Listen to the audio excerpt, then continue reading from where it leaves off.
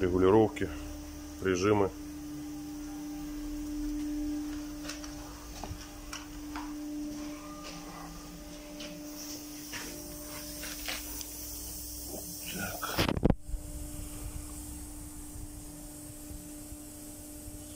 Так.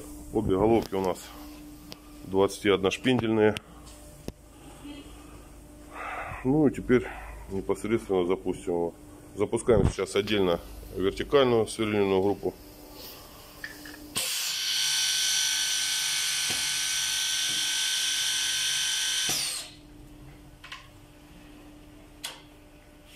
Теперь горизонтальную кладь. Еще раз.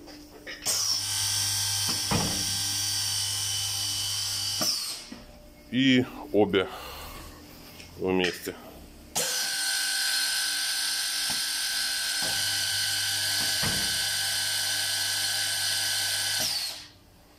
Так, скорость вылета, срабатывания, это все регулируется вот этими четырьмя регулировочками. Так, и сейчас э, развернем. Э, эта процедура происходит вручную. Развернем горизонтальную сверлильную головку, чтобы засверливать в торец.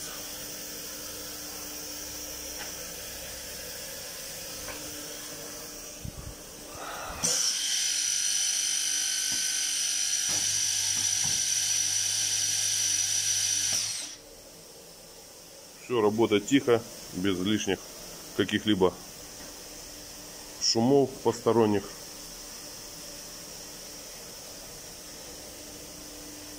Ну, в принципе,